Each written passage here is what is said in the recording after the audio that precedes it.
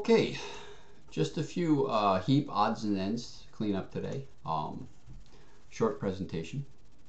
So the first thing to mention is, you know, the book doesn't mention building a heap by iterated insertion.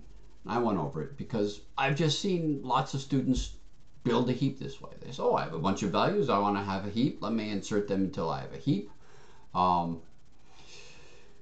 the book's presentation sort of doesn't talk about insertion until after build heap is done. So if you actually go through the book's presentation and learn it in the order they present, maybe you won't be tempted to do that, but I've just seen it happen too many times, right? The book says, oh, we're going to learn this max heapify, and now we go through, we do max heapify, we can build a heap using that. Um, but anyway, what happens if you build by iterated insertion? How bad is that? Uh, if I just give you numbers in a random order and I ask you to build by iterated insertion. How long does that actually take? So my claim is uh, it doesn't actually take order n log n time. That's the worst case time. But I think you'd expect it to take order n time. To get an intuition of why that's true, let's think about this. Imagine that you have some heap and I want to insert a value into that heap, right? In this case, if I'm inserting the, you know, I'm given values in a random order and I want to insert a new ninth value here, right? I want to insert some new ninth value. Um, I want it to hang off of my heap here. What's the probability that that value that I insert is going to go all the way up to the top? Well, it's only 1 in 9 because the only probability, the only way it would go all the way up to the root of the tree is if it's the biggest number I've seen so far. And if it's the ninth number I've seen, that should only happen a ninth of the time. Now, something like half of the values in the heap are leaves. So half of the values are leaves. Probably half of the values sort of don't go up at all, right? You'd expect that to happen half of the time. And the things that are parents of leaves are already sort of much bigger than or, or sort of you'd expect them to be bigger than average. So I would sort of expect, well, the odds that something goes up and becomes a new, you know, root, that's 1 over n. The odds that something goes up and becomes a new root child, it's maybe a little bit bigger than n over 2. Because, well, something like half of your nodes are here. There's n over 2 of them and you have to be the biggest of those n over 2. Now, uh, the very, very biggest of the two halves combined has been pulled out to be the root. But basically, the node that's the left child of the root, you still expect to be one of the biggest nodes in the tree, right? And the second biggest node in the heap is, is one of these two children of the root. So to displace it, you have to be a big number, right? So without proof, without reference, without actually having seen it anywhere. I'm just going to say, you know, I kind of expect for randomly ordered data um, for it to take linear time just to build a heap, even if you use the sort of iterated insertion, which is discouraged. Not only that, but if you're, you know, for many uses of a heap, um, like if you're going to have a bunch of deletions, the deletions really do tend to take logarithmic time. So even if you use this sort of slow n log n build heap, and even if you hit the worst case n log n time, that might not uh, uh, increase your actual asymptotic runtime. So what I'm saying is, at least in this case, for a heap, even if you use sort of the suboptimal worst case n log n runtime, it might not really make your runtime that much worse.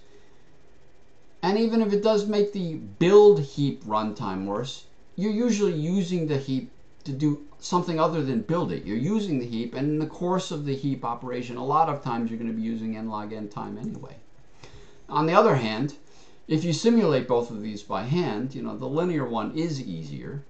And coding the linear one, once you have the build heap operation code, it doesn't take, is, is easy to code anyway. So why not actually use the linear time one? Well, no reason. You should use the linear time one. It's better.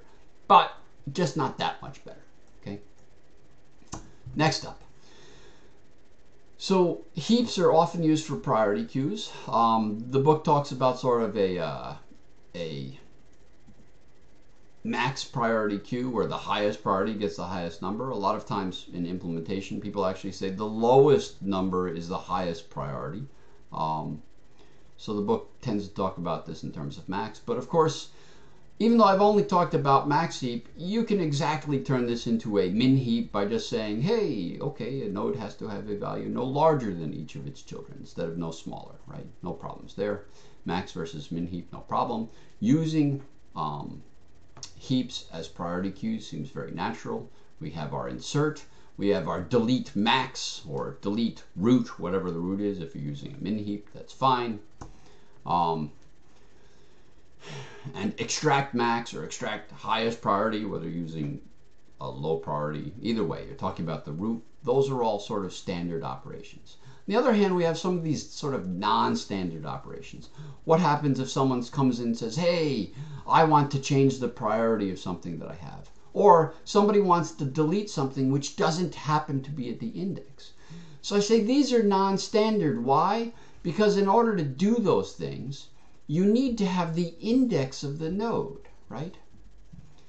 These pretty much crush the black box abstraction of a heap. Like, I have this nice black box heap. It's being implemented by, say, implicitly by an array where each node, each thing in the heap has an index. And all of a sudden somebody comes and says, hey, heap, delete whatever is at index number three index number. You're not supposed to know about my indices, right? It's fine for me to internally use these indices to delete something or change a key. But for you to know about my indices means the black box of the heap abstraction has pretty much been, been destroyed. So if I say I have a bunch of jobs and I want to be able to increase the priority of a job, a job has to know its index within a heap. And of course, some job some job uh, object, why would it know anything about a heap? It, it just knows it's a job, right?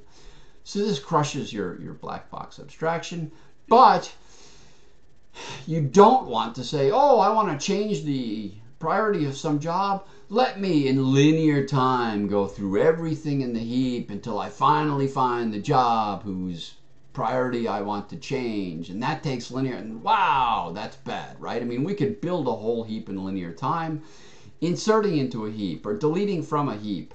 Those are, or changing the key of a heap. Those are supposed to be logarithmic time operations. And if we have to search through in linear time to find the thing whose key we're changing, or linear time to find the thing that we're deleting, well, deleting it quickly, if it took you linear time to find, doesn't help. So we're gonna, what we're gonna do is we're going to break our black box abstraction. You, you do what you gotta do to make things efficient. In this case, we kind of break our heap abstraction. That's too bad. All right. That's it. Thank you.